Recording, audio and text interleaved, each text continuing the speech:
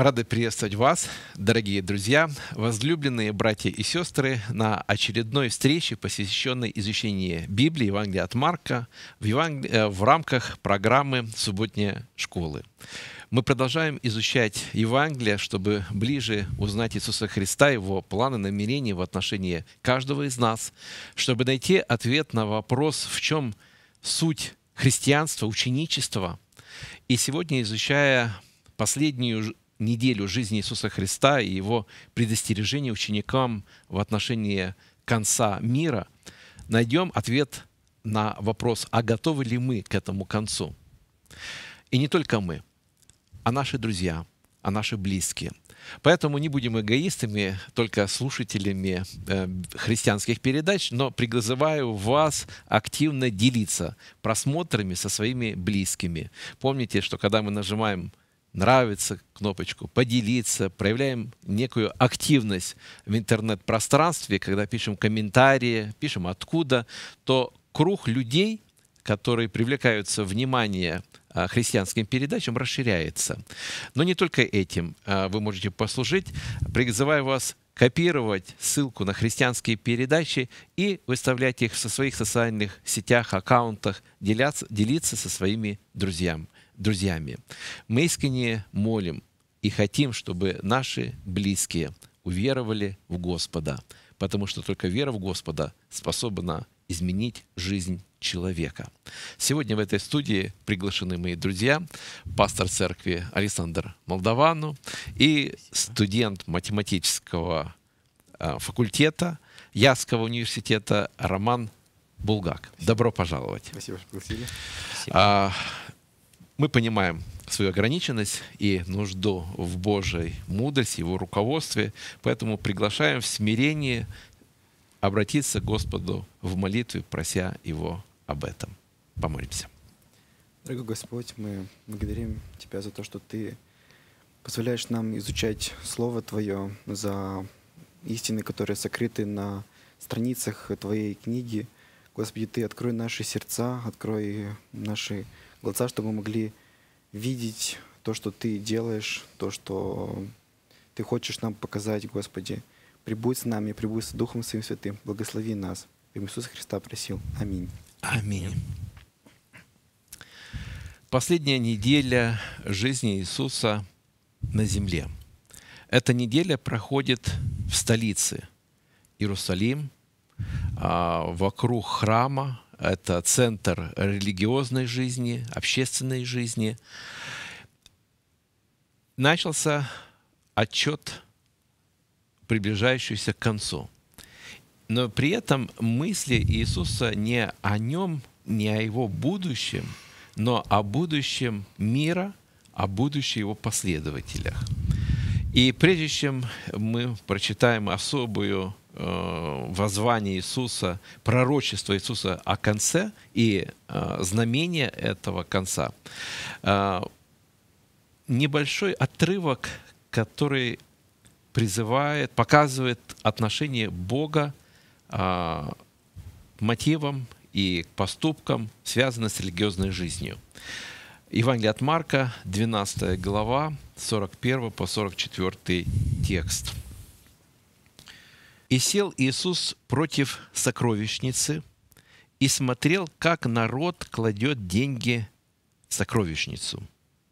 Многие богатые клали много. Придя же, одна бедная вдова положила две лепты, что составляет кондрант. Подозвав учеников своих, Иисус сказал им – истинно говорю вам, что эта бедная вдова положила больше всех клавших сокровищницу, ибо все клали от избытка своего, а она от скудости своей положила все, что имела, все пропитание свое. Удивительный парадокс. Иисус наблюдает, сколько ложат богатые, и написано, что много, И он смотрит, сколько стоит, ставит вот это бедное. Ну, э, не знаю, сколько это в современных э, конвертируется э, деньгах, две лепты. Написано, что дневная зарплата. Да. Угу. За один день. Ну, э, дневная э, зарпла, зарплата это один динарий, а две лепты это составляло одна Э, целая 32, 32 часть от динария. То есть это, наверное, еще меньше. И если это пропитание, то, наверное, корочка хлеба. И вот в чем, э, каким образом? Одна 32 составляет дневной заработок. Одна 32, вот две да. лепты, это дневная э, заработная, как сказал э, угу. молодой человек. То да. есть на пропитание... То есть она принесла то, что зарабатывал нормальный рабочий за один день. Угу. Вот. Почему? Почему вот эта сумма в глазах Иисуса оказалась большим, чем все собранные э, и пожертвованные богатыми людьми сокровищницу. Как это может быть? Вот хотел бы спросить э, студента математического э, факультета, э, есть ли такая э, правило, теоремы, которые могли бы объяснить вот такие парадоксальные, несоизмеримые величины? Как две лепты может быть больше превысить э, там, тысячи э, динариев пожертвованы это, другими. Это в процентном соотношении. То есть если, если бедная вдова принесла две лепты, это все, что у нее было, то есть полностью все пропитание, то есть она принесла абсолютно все, что у нее было. То есть последние деньги, что у нее оставались, она принесла, она принесла все, то есть все сто процентов, что у нее были. Но это же меньше, все равно это меньше, чем то, что да, но пожертвовали другие. Они приносили от богатости своей, то есть у них было много денег, и они приносили еще в огромных мешках, высыпали все это в одну из 13 этих э, больших э, сокровищниц, на показ все это делали. То есть они делали не от того, что они хотели помочь, а от того, что они хотели просто показать, что у них вот у них много чего есть, и вот они какие они щедрые, дают много. Хотя... Я думаю, что другие люди, которые видели, а, как они вот это все жертвуют, а, то это выраза, выража, а, вызывало у других людей ободрение, похвалу, говорит, какой жертвенник, какой вот настоящий верующий человек. Никто не знает, сколько у них было, что они могут так, так деньги э, давать в храм. То есть Э, здесь показывается в процентном соотношении. То есть они давали, потому что у них было много, давали, давали много, но при этом у них было еще больше. Угу. А у вдовы больше не было. Вот было, были две несчастные лепты, которые там, может быть, она последняя заработала, заработала, вчера. да, либо там ей просто или сегодня, либо ей кто-то дал на пропитание. Вот она эти две несчастные лепты, которые нужно было есть, наверное, неделю, она взяла, сложила в эту маленькую сокровищницу, вот она дала все, что у нее было есть показывается ее намерение, то есть она хочет от чистого сердца дает. Не потому, что ей она хочет показать, показать, что она имеет много, у нее мало есть. А то, что мало она приносит, вот это мало, что у нее есть. Что ценно, как э, эта история и реакция Иисуса говорит о том, что ценно в глазах Бога в нашей повседневной жизни, э, ну, религиозной жизни, что ценит Бог? Ценит, на что он смотрит, э, на что он обращает внимание? ценит скорее то, что мотивы, нежели само действие. Ценит э, твои побуждения, то, что движет тобой что, к, при совершении определенных поступков. То есть не так важно, то, сколько что... ты дал а, или что ты сделал, даже самое хорошее, а важно — почему, да. что движет. И, наверное, этот мотив, этот принцип, он э, справедлив во, во, во всех остальных наших действиях и по отношению к Богу, и в отношении других людей. А, и вот мы подходим э, основному, основной теме нашего исследования, э, 13 глава, с 1 по 13 тексты. Э, Иисус, пророчество Иисуса о разрушении храма – и о событиях будущего. И для нас очень важно, потому что здесь он говорит о знамениях, которые очень важны э, не только для современников Иисуса, но и для нас, живущих в наше время. Итак, первый стих. «Когда выходил он из храма, говорит ему один из учеников его, «Учитель, посмотри, какие камни, какие здания!» А Иисус сказал ему в ответ – видишь сии великие здания? все это будет разрушено. Так что не останется здесь камня на камне. И когда он сидел на горе Леонской против храма, спрашивали его наедине Петр, Иаков, Иоанн и Андрей, скажи нам, а когда это будет? И какой признак, когда все сие совершится? Отвечая им, Иисус начал говорить, берегитесь, чтобы кто не прелестил вас. Ибо многие придут под именем Моим, будут говорить, что это я, многих прелестят. Когда же услышите о войнах и военных слухах, не ужасайтесь, ибо надлежит всему быть. Но это еще не конец. Ибо восстанет народ на народ, царство на царство, будут землетрясения по местам, будут глады и смятения. Это начало болезней.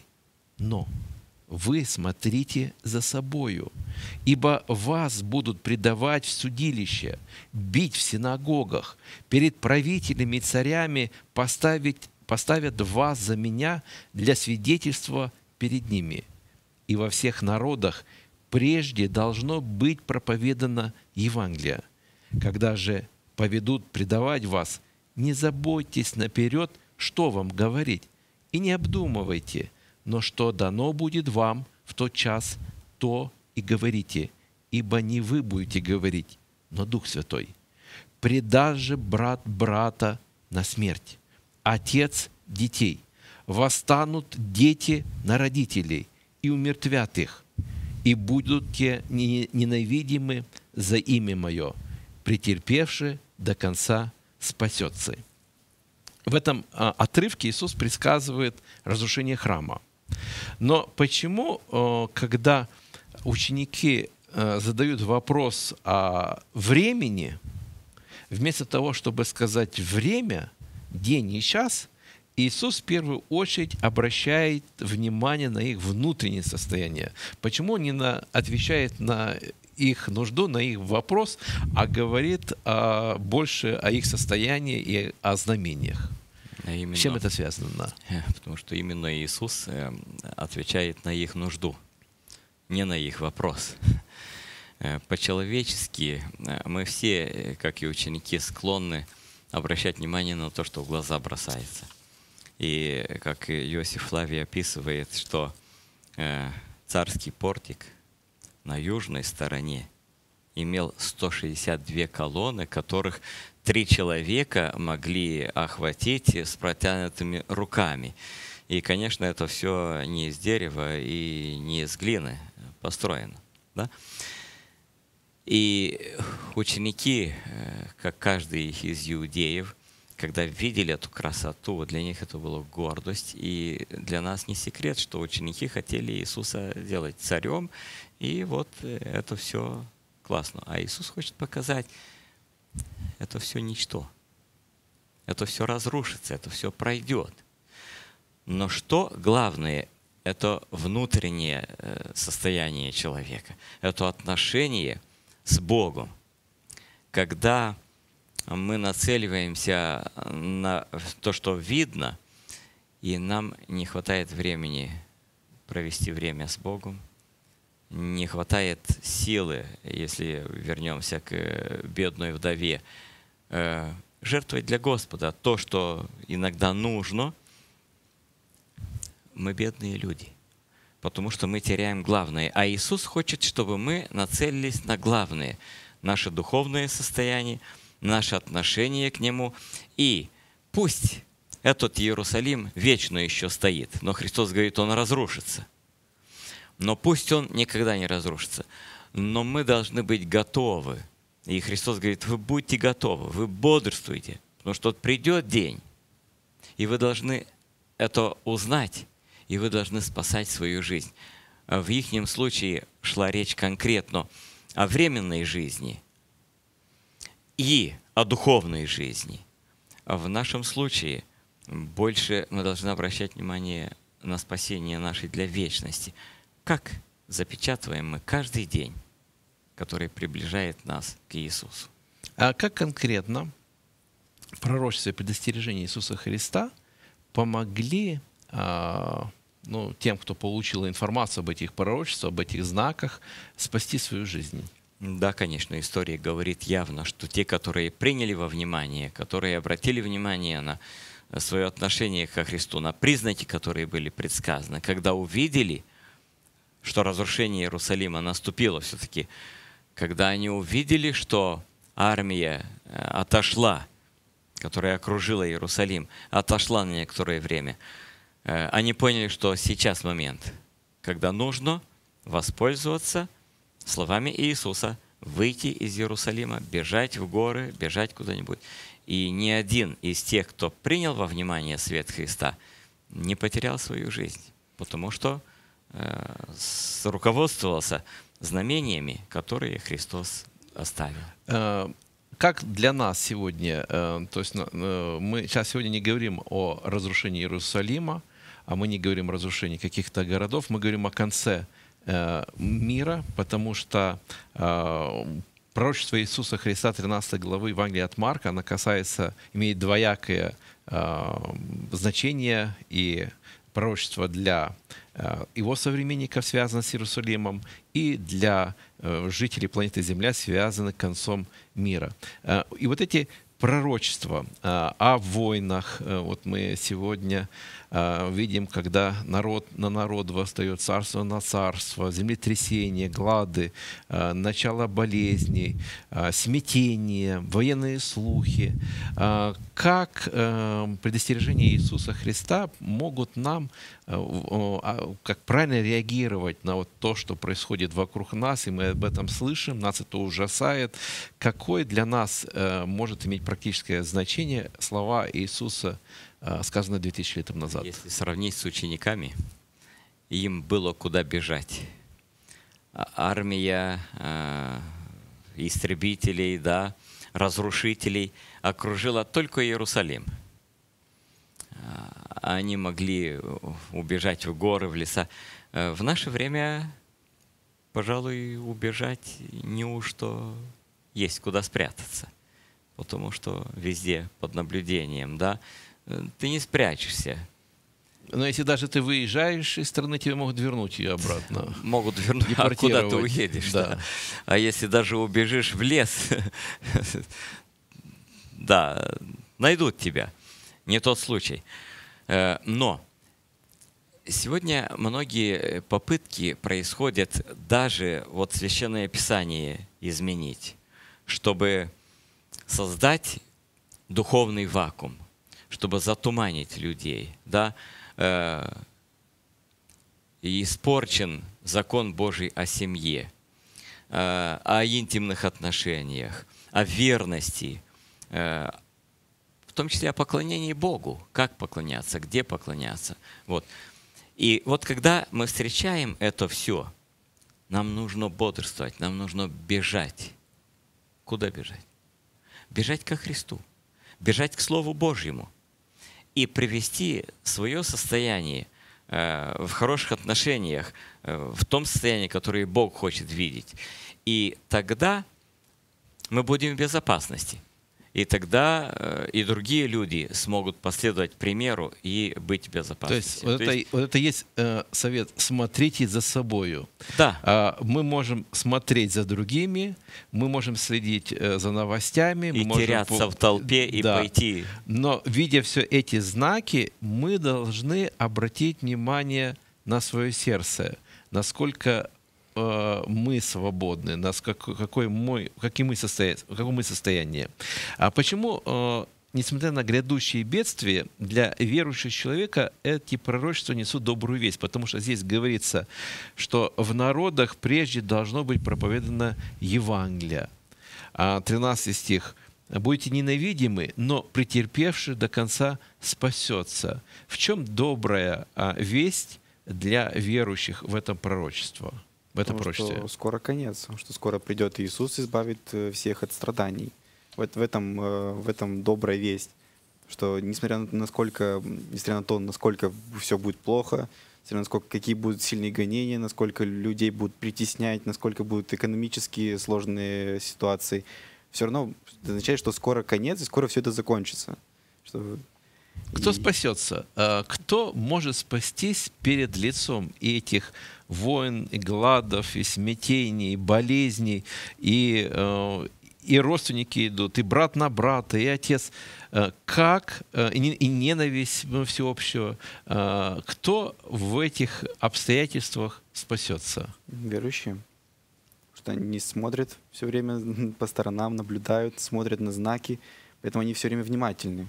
Поэтому их Бог уберегает, дает знаки, поэтому они знают, когда нужно скрыться, когда нужно уйти, когда нужно прятаться, и когда нужно избежать каких-то последствий, каких-то бедствий, катаклизмов. И, Другими и словами, прочее. претерпевший до конца. Спасет, да. То есть человек остается и, и идет пути. Бывает, что человек э, проходит весь марафон и сдается за за несколько метров до финиша, ну уже сил нет. Э, э, и человек может всю жизнь следовать за Иисусом, но в какой-то момент перед лицом э, трудностей, неприязни, э, испытаний он сдается. Как важно вот это слово «до конца», до конца пути, а этот путь может быть а, прерваться и в твоей жизни, с твоей концом твоей жизни, может быть прерваться при концом этого мира, но важно, чтобы до конца ты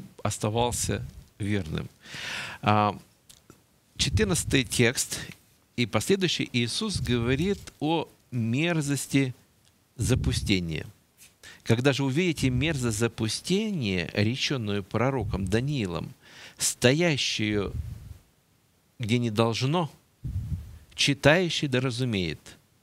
Тогда находящиеся в Иудее добегут в горы. А кто на кровле, тот не сходи в дом, не входи взять что-то из дома своего – а кто на поле, не обращайся назад взять одежду свою, горе беременным и питающим сосами в те дни. Молитесь, чтобы не случилось бегство ваше зимою. Что это за мерзость запустения? И, э, и как понимание вот этой мерзости запустения э, помогло э, находящимся в Иудее убежать и спастись от этого жесточайшего преследования и геноцида, который произошел в 70-м году, когда Иерусалим был разрушен, и когда, ну, по свидетельству историков, более миллиона человек были вырезаны, находящие, находящиеся там. Как ключ понимания его, потому что там написано, что читающий да разумеет. Что должны были они разуметь и понять из Даниила, из слов Иисуса, чтобы убежать? Э, как мы уже говорили раньше, пророчества э, повторяются и имеют э, разные отчасти значения, но имеют ту же цель. Когда Христос говорил иудеям о мерзости запустения, конечно, Он имел в виду разрушение Иерусалима, Он имел в виду разрушение храма Иерусалимского, когда евреи, думая, что к храму никто не прикоснется, потому что здесь святыня Господня, здесь место обитания Господа, да, и собрались все в храме, когда уже второй раз э, воины окружили город. Э, но, э, к сожалению, вот как э, вы говорили, что многие не восприняли всерьез, и, и ничего не спасло их, потому что римляне сожгли храм, несмотря на приказ э, не трогать храм, сохранить храм, но ничего не помогло. И вот э, перво, перво, первое значение вот этой мерзости запустения, э, вот этот случай, когда Иерусалим был окружен, и, как мы говорили, те, которые приняли во внимание вовремя покинули город, покинули места, не сошли с крыши, не вошли в дома свои, э, буквально практически исполнили пророчество, воспользовались пророчеством и спаслись. Да. Если говорим о нашем времени, то э, другое значение, второе значение мерзости и запустения – это тогда, когда Рим Э, уже не языческий, а религиозный Рим поставил вместо божественных законов человеческие законы. И люди, которые не изучают Священное Писание, руководствуются вот этими законами, которые являются э, законы человеческие. И Христос говорит ученикам своим, почему вы вот так красиво Божьи заповеди оставили в сторону, а руководствуетесь человеческими традициями. Мерзость запустения может быть и в нашем уме, в нашем сердце, когда мы позволяем, чтобы э, римские стандарты, языческие э, обычаи, традиции были, стали законом нашей жизни, вместо того, чтобы руководствоваться э, законом Божьим, принципами э, Священного Писания. Поэтому Христос предупреждает, в наше время мы должны быть очень внимательны, бодрствовать, чтобы человеческие учения не э, брали верх в нашей жизни, но чтобы мы руководствовались всегда божественными наставлениями. Спасибо. 19 стих Иисус предостерегает о том, что в те дни будет такая скорбь, какой не было от начала творения, который сотворил Бог, даже до ныне и да не будет. О какой скорби говорится в этом стихе? Э, в этом стихе говорится о преследованиях, которых еще народ не, не знал. Даже во времена падения, падения Иерусалима в 70-х годах люди не знали еще таких гонений. Потому что потом придет папская власть, которая будет гнать ну, христиан на протяжении 1260 лет. Римская инквизиция, испанская инквизиция, э, происходили ужасы, людей гнали за веру, за чтение Библии, за распространение Библии, за то, что они посмели что-то сказать против папы римского, либо там какие-то разные надуманные поводы и мотивы были про, про вот эти времена говорится о великой скорби, которую еще не знало, не знали, не знало человечество. А, с 20 текста и дальше говорится о надежде, которую Господь предлагает своему народу. Если бы Господь не сократил тех дней, то не спаслась бы никакая плоть. Но ради избранных, которых Он избрал, сократил те дни – Тогда, если кто вам скажет, вот здесь Христос или вот там, не верьте, ибо восстанут лжехристы, лжепророки, дадут знамения и чудеса, чтобы прелестить, если возможно, и избранных. Вы же берегитесь. Вот я наперед сказал вам все. А какая практическая а, польза была э, и надежда для людей, которые эти пророчества впоследствии читали, вспоминали, как оно помогло им и как оно может помочь сегодня нам. Поскольку мы находимся в изучении последней недели Иисуса Христа, э, я остановлюсь э, первым долгом на какое значение это имело для учеников. Как мы уже говорили, те, которые послушались, они спаслись. А если смотрим вообще в истории, э, приходит на память Даниил. Царский указ об уничтожении всех, кто будет поклоняться другому Богу, кроме царю. Даниил остается верным. Его бросают в львиный ров. Но в самое подходящее время Господь спасает его. И в результате и царь, и все люди – понимает, что Даниил э, служит э, не какому-то божеству, э, которого нет, но живому, всесильному Богу. Если мы вспоминаем историю Иосифа, Иосиф остается верным Господу.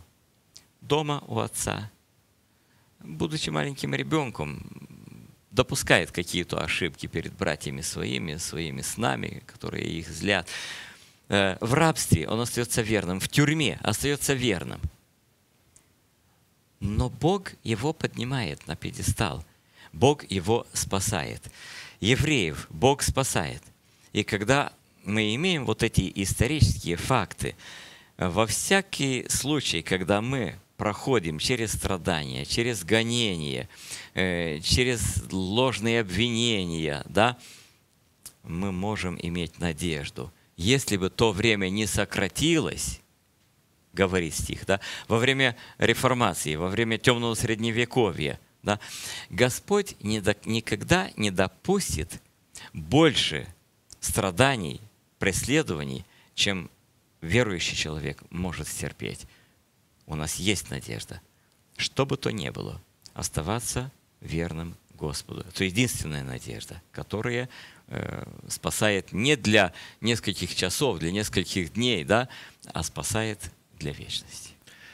И завершается эта глава а, пророчеством о самом величайшем событии – начинается э, с разрушения Иерусалима, и для иудеев, для учеников это уже был, они думали, что вот это и есть конец. Если нет храма, то нет, не, э, нет смысла, Бога. нет смысла жить. Тогда это конец э, планеты Земля. Что храм да. разрушился. Да.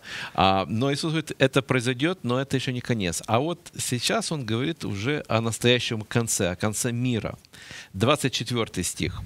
Но в те дни, после скорби той, солнце померкнет, луна не даст света своего, звезды спадут с неба, и силы небесные поколеблются. Тогда увидят Сына Человеческого, грядущего на облаках силою многою и славою.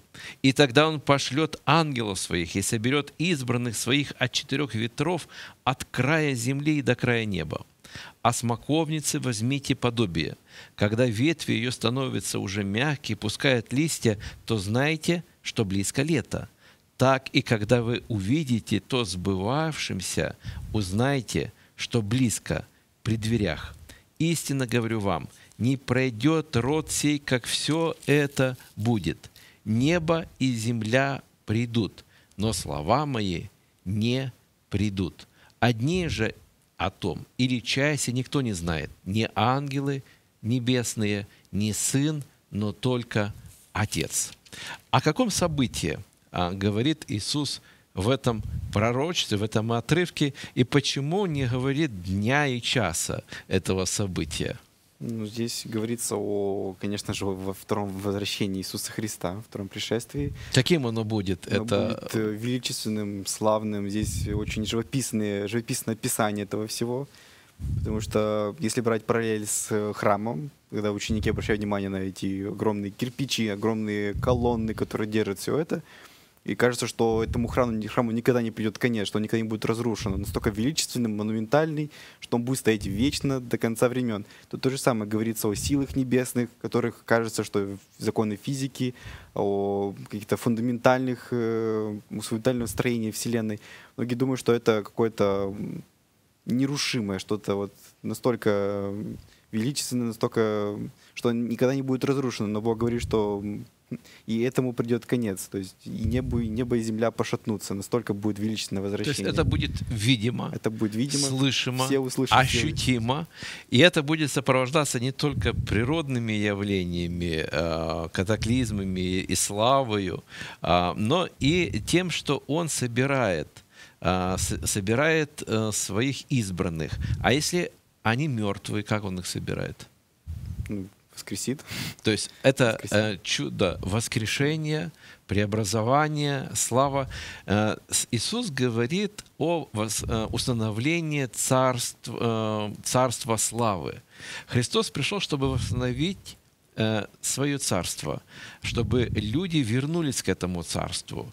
И вот здесь он открыто говорит о том, что наступит день, когда не будет уже горя, не будет слез, смерти, когда Он воцаряется, и, и э, люди живут по законам царства, царства славы. Ну, э, наверное, такой же вопрос, э, как был у учеников, когда, э, этот же вопрос э, возникает и услышите э, у, у, люди, у людей, когда будет пришествие Христа. Э, адвентисты седьмого дня — это э, христианская церковь, которая проповедует о втором пришествии. И наверняка люди, которые слышат эту проповедь о втором пришествии, о том, что, каким оно будет, задают вопрос, когда это будет. Потому что, чтобы знать, когда, э, приготовиться к этому, чтобы э, ну, радоваться и знать, что сколько осталось ждать, э, чтобы увидеть воскресших своих родных и близких. Что Иисус говорит на этот вопрос, отвечает на этот вопрос, и что отвечают адвентисты? Отвечают, э, одни же том части никто не знает. Ни ангелы небесные, ни сын, то но только отец. Почему, не, а, не, э, почему Господь скрыл э, день э, и час пришествия своего? В этом нет смысла. Для людей нет смысла ни для кого. В этом ну, ну, ну смотрите, освещает... если бы вам сказали а, о том, что вот приезжают ваши родственники или близкие, какой-то один бабушка приезжает, которую вы долго не видели, а, разве вы не хотели бы знать день и час, чтобы приготовиться к ее встрече? Если у вас экзамен, и говорят о том, когда это, разве вам это не помогло бы приготовиться к этому дню и часу? Помогло бы, но мы бы приготовились бы за день, либо максимум за день. Так как дайте нам неделю на выполнение проекта, мы сделаем все за последний день. Тут то же самое будет. Мы, мы быстренько все сделаем за последний день. Вот э, скажут, в этом году придет Иисус, мы быстренько подсуетимся, пойдем в церковь, скажем, вот все, мы покаялись, но в душе мы, мы не покаемся. Потому что тут опять же, тут все внешнее. Мы будем заклины на, внешних, на внешнем проявлении. Мы не будем искренне все это делать. Мы будем делать ради чего-то ради пришествия Иисуса, ради какого, ради суда, ради чего-то. Мы не будем э, делать все это искренне, потому что мы э, верим в Бога, мы верим в Иисуса, мы любим э, читать Слово Божье. Просто мы будем бояться этого великого дня. Мы будем готовиться ради чего-то. Либо, либо из-за боязни ада, либо из-за того, что мы хотим в рай. Это все корыстные цели это все неискренно. Поэтому Бог говорит, что э, одни же том никто не знает, потому что нет смысла нам знать этого. Нужно быть нам всегда готовым. То есть ученичество — это э, жизнь не одного дня или ситуации да. какой-то. И вот в этой ситуации это, ученики Иисуса Христа. А в обы... да, этот постоянный образ жизни. И поэтому Господь не желает, чтобы наша религиозность или посвящение или духовность было связано только с каким-то событием или с периодом жизни, но чтобы это было он постоянным образом нашей жизни. И возвращая, эм, призывая э, своих учеников и сегодня и наших слушателей, Иисус повторяет одно и то же слово. Это э, в последних э, словах этой главы несколько раз упоминается. 33 стих. «Смотрите, бодрствуйте, молитесь, ибо не знаете, когда наступит это время. 35 стих. Итак, бодрствуйте, ибо не знаете, когда придет хозяин дома, вечером или в полночь, или в пении петухов, или поутру. И 30, 37 стих. А что вам говорю? Говорю всем, бодрствуйте. Что в практической э, жизни значит вот это э, слово бодрствовать? Как сегодня э, верующие христиане могут исполнить, э, ответить на этот призыв и бодрствовать. Что это значит? Э, как мы говорили раньше, если бабушка придет, нехорошо ли знать точный день? Если мы не знаем, когда придет гость к нам, то ли бабушка, то ли родители, если у нас уже своя семья, но мы знаем, что они придут – мы всегда стараемся, утром уходим на работу или на учебу, чтобы все было прибрано, чтобы все готово. Вот вечером пришли, а вдруг придут. И у нас всегда все в порядке. А когда мы знаем конкретно, как Рома сказал уже, э, мы оставляем, вот когда придут. И когда придут, то не успел, все не успел, то под кроватью, то под столом. Э, и видимая такое, видимая готовность – но ни о какой готовности не идет речь. В нашей духовной жизни то же самое происходит. Все, что мы делаем, оно нас, оно нас формирует. Формирует привычки, формирует характер. Но мы прекрасно знаем, что ничего нечистое в Царство Божие не войдет. Если вот гром грянул, и мы сразу стали верующими, э, но мы не стали верующими. Это явное просто видимая часть монеты.